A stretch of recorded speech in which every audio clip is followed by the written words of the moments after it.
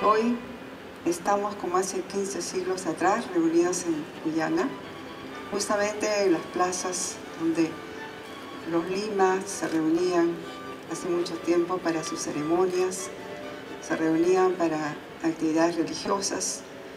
Y esta vez nos reunimos aquí, les doy la bienvenida por los 30 años que cumplimos atendiendo a la comunidad, atendiendo y presentando nuestro patrimonio de Miraflores a los turistas y a la comunidad nacional.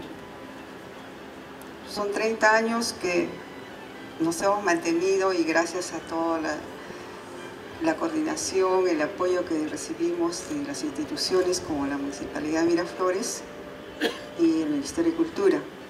Este, estos 30 aniversarios eh, nos dan la oportunidad también de presentar una maqueta que es el producto del trabajo del equipo de investigación. Estamos hablando de una maqueta que vamos a presentarla, corresponde a la época de esplendor de la, cultura lima.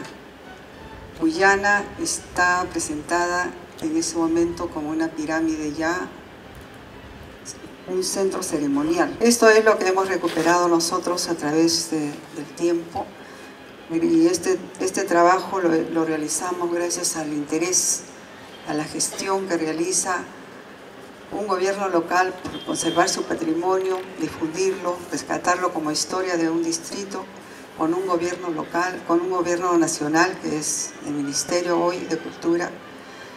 Y a través del tiempo hemos logrado la historia, recuperar la historia de Miraflores y parte de la historia de Lima. Ahora vamos a tener un apoyo diferente ya vamos a poder exponer todo el material que tenemos en un museo como se merece en la ciudad de Miraflores y como se merece también el trabajo que estamos haciendo. Yo agradezco una vez más la visita y el compartir con nosotros estos 30 años que cumplimos de servicio a la comunidad como museo de sitio.